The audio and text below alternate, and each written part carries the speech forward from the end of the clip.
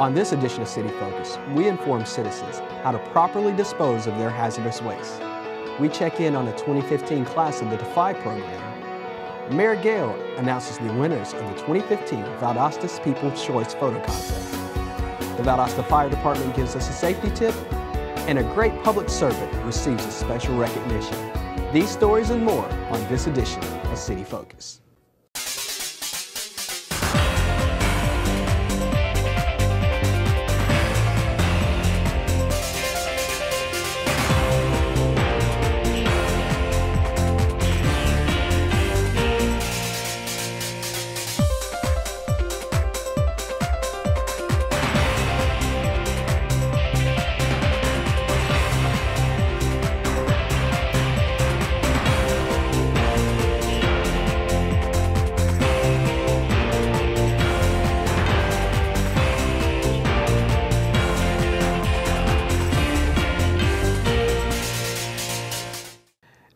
I'm Marcus McConico, the media coordinator for the City of Valdosta, and this is City Focus, your source for information for what's happening in your city. Let's take a look at a few of the key topics that are happening in the city. In an effort to be more environmentally friendly, the City of Valdosta and the Public Works Department is asking citizens to be cautious when disposing of household hazardous waste. Improper hazardous waste disposal can harm the health of people, animals, and plant life. It can also contaminate soil, local water supply, and pollutes the air. Items such as motor oil, pesticides, herbicides, and paint or pool chemicals should not be placed in your rollout or recycle bins. Make sure that you do not uh, put anything in it, any construction uh, items for as uh, car parts, bricks, blocks, uh, hazardous materials. Don't place hazardous waste, paint, motor oil, gasoline, pesticides, and roll out for pickup. These items are accepted at the Care Environmental. Citizens of the City of Valdosta can drop off household hazardous waste with no charge at Care Environmental at 714 Gil Harbin Industrial Boulevard between 10 a.m. and 2 p.m. on Fridays only. The phone number for Care Environmental has recently been changed to 229 469 8072. This summer, kids around the Valdosta community are beginning their year of the DEFY program.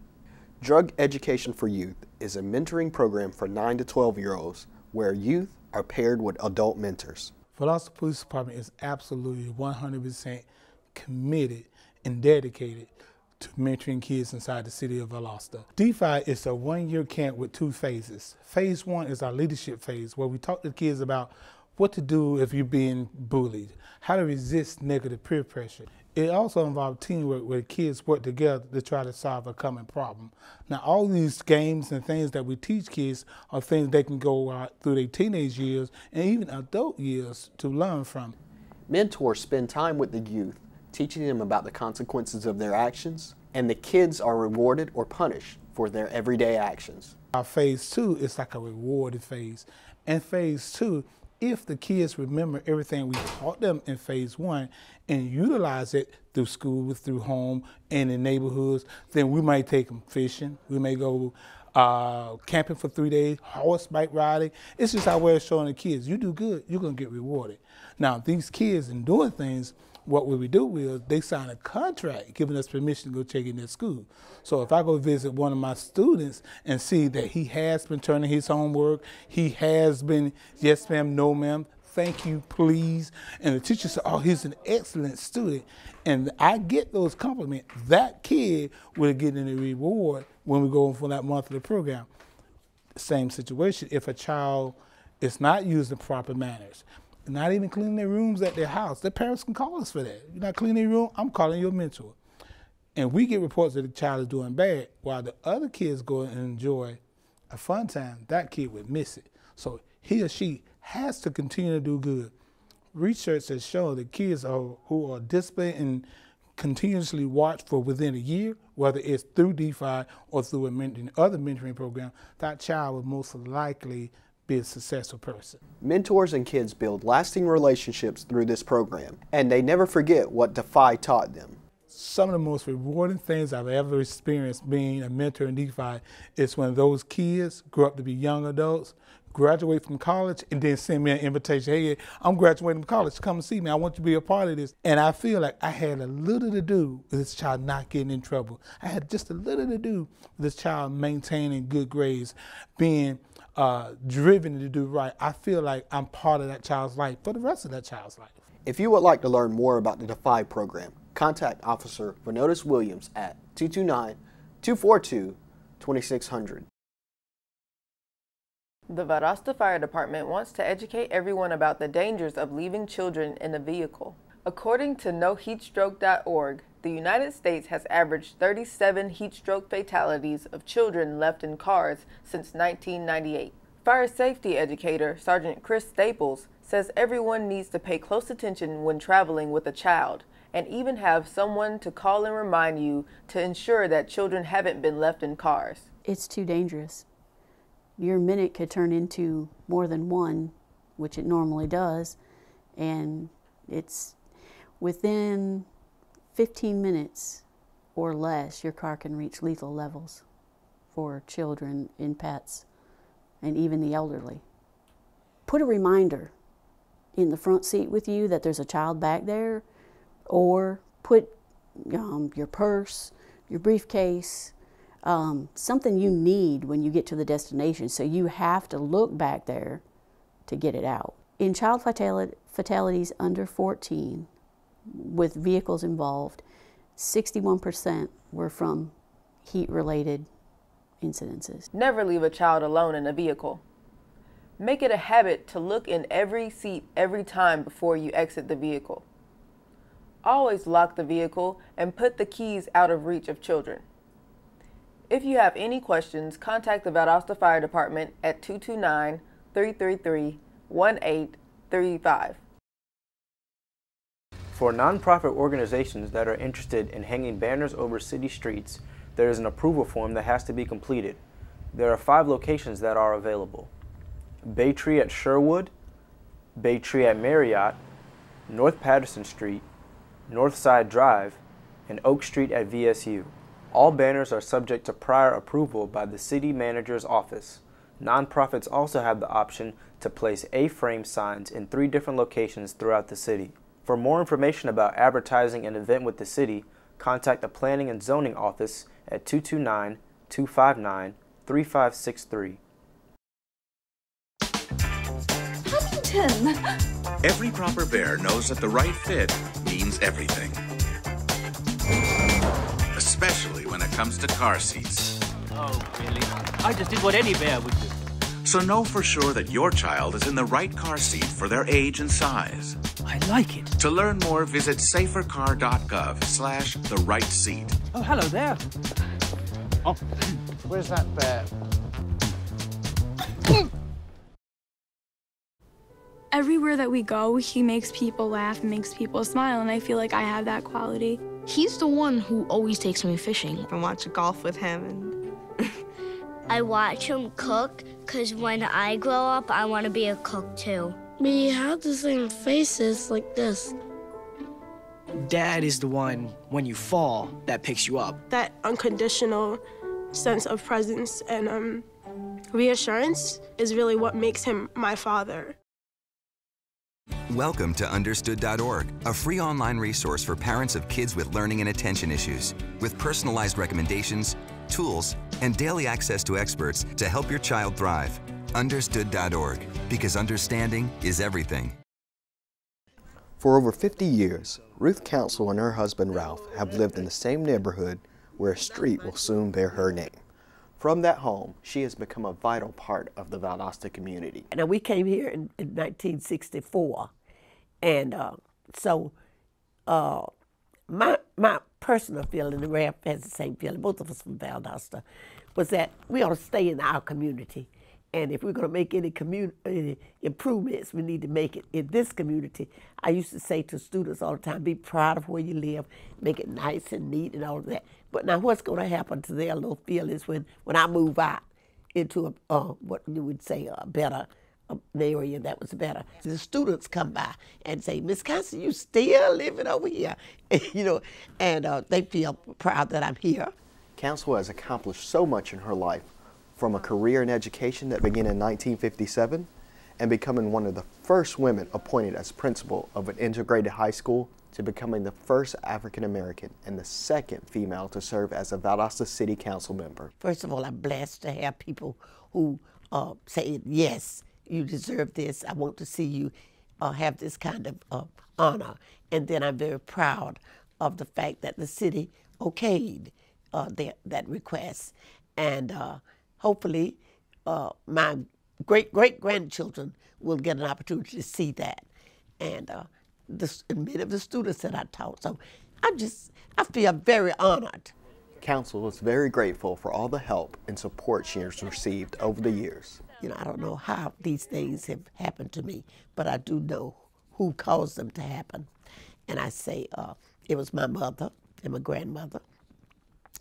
It was my uh, family and my church family. It was my uh, community and my friends, my college and my university, co-workers.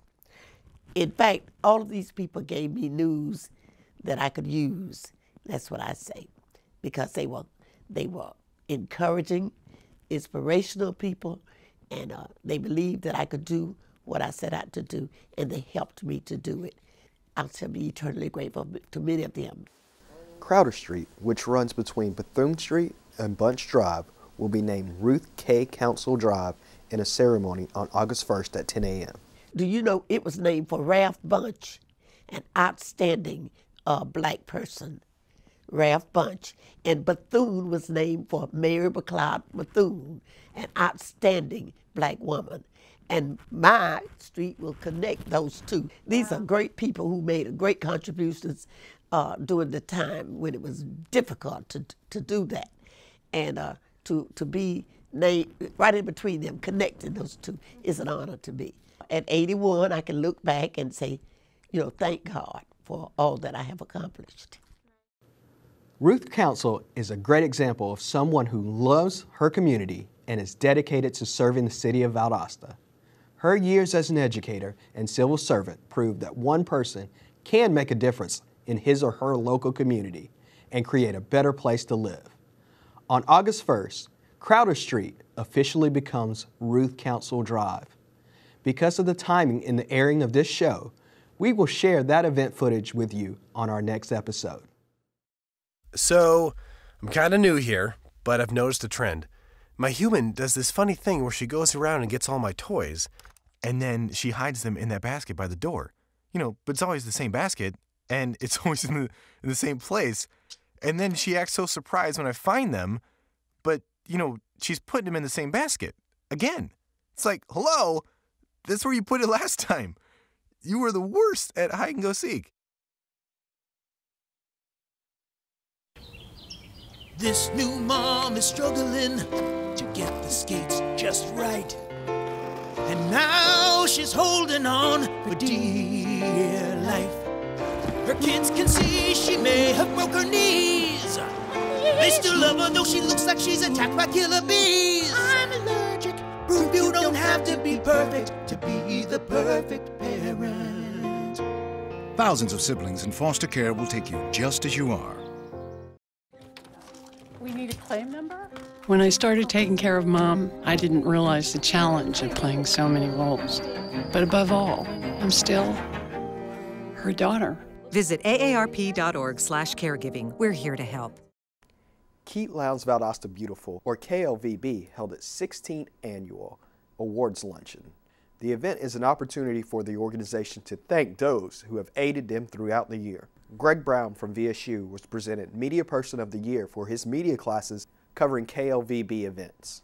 The Helping Hands Award was presented to Angela Bray, Dominic Giesling, and the Joyner family for all of their volunteer work throughout the year. Sigma Nu Fraternity was given the Student Organization of the Year. The Langdale Company received the Adopt a Road Participation of the Year, and the Community Partner of the Year was given to the Valdosta Junior Women's Club. Bill Slaughter was given the Chairman's Award. KVLB has three important dates during the fall it wants everyone to remember. October 3rd, Rivers Alive Cleanup. October 24th, Make a Difference Day cleanup event, and November 14th, the Fall Electronics Recycling event. If you would like to volunteer, contact Keep Lowndes Valdosta Beautiful at 229 671 3698. On August 21st, Valdosta Main Street invites everyone to its Fall Art Walk. This is the third of four art walks this year. Participants can purchase a wristband for $20 with all the proceeds going to the Public Art Advisory Committee. Wine and beer tastings will be available at all participating art walk locations. Participants will also be given a passport to art, which can be stamped at each art walk locations for a chance to win a gift. I have nine different stores participating and they're all going to be showcasing their original artwork. We will also have the wine portion of the art walk again, and everyone will have a bottle of wine, different kinds. And so, for $20 wristband, you can participate in the wine portion of the art walk. Yeah. For more information, contact Main Street at 229 259 3577. The seventh annual Valdosta People's Choice Photo Contest winners were announced at the Annette Howell Turner Center for the Arts. Marvin T. Smith won the Best in Show award for his photo, One of 100, which features a baby red shouldered hawk in Drexel Park. Smith received an engraved matted frame for his entry, $100, and two season tickets to the 2015 2016 Presenter Series. Other first place winners include Susan Davis for Kitty's Camellia, Juanita Burks for Sweet Flowing Water, Carolyn McMillan for Day is Done, Leo Salo for Purple Passion, and Joshua C. Lynch in the Spirit of Titletown USA category.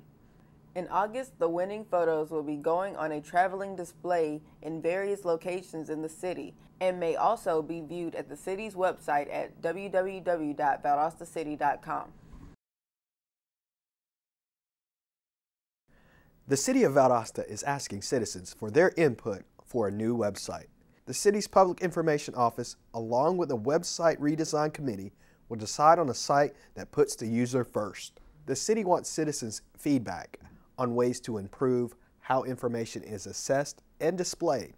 Our goal is to provide a new website that puts the user first. We want to know what information citizens want to be able to find easily and quickly on our website. And so this citizen survey that is available on valdostacity.com um, provides citizens a chance to give us their feedback. Let us know what you like about the current website, what we'd like to see changed on the new website. And all this information will be considered when we design the new website that should be available to citizens um, beginning in January 2016. The survey can be found on the homepage of the website, and citizens have until August 21st to voice their opinion. Saving lives is an important part of being a fire policeman. The Guns and Hoses Blood Drive is just another way for each department to save lives and serve their community. The local Red Cross spent the day at City Hall Annex as visitors in and out of uniform gave part of themselves to help another. Last year, the police department won the competition. This year, the fire department squeezed out the victory. But in the end, the community wins. Now let's take a look at what's taking place in the city in the coming weeks. August 3rd through 14th. The winning photos in the 7th annual Valdosta's People's Choice Photo Contest are on traveling display. The collection will be at South Georgia Regional Library from August 3rd through the 14th. August 6th, Valdosta City Council meeting at 5.30 in Valdosta City Hall. August 8th, 100 Black Men Barbecue. Takes the finest barbecue in the South at this annual event, which takes place on the sidewalks around historic county courthouse in beautiful downtown Valdosta. August 11th, the City of Valdosta will begin phase three of its smoke testing program. Citizens may access the city's websites for a map of the smoke testing sites and other pertinent information. August 20th, Valdosta City Council meeting at 5.30 in Valdosta City Hall. August 21st, Art Walk from 5 to 8 throughout downtown Valdosta. This quarterly event combines the love of art and historic downtown Valdosta and features a wine and beer tasting experience and beautiful art displayed at all participating Art Walk locations. Call Main Street for more information.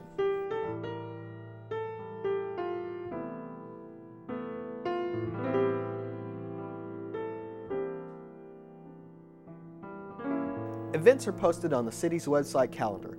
To help you stay informed of what's going on in the city, Sign up for the weekly e-news blast at valdostacity.com slash public information or call Public Information Officer Samantha Matthews at 229-259-3548. The City of Valdosta welcomes city and county school-age children as they return to the classroom on August 6th. The city also welcomes back over 11,000 Valdosta State students as they return to campus on August 17th. Citizens are urged to drive with caution, particularly in school zones and in neighborhoods throughout the city. Also, motorists should allow themselves additional time to get to their destinations due to the increased traffic on city streets. This concludes another edition of City Focus. Be sure to visit our website at valdostacity.com forward slash Metro 17. Like us on Facebook, Valdosta City Without Limits. Follow us on Twitter at City of Valdosta and subscribe to our YouTube channel, Metro 17 Valdosta, to see past shows and stories. Thanks for watching, and we'll see you here next time on City Focus.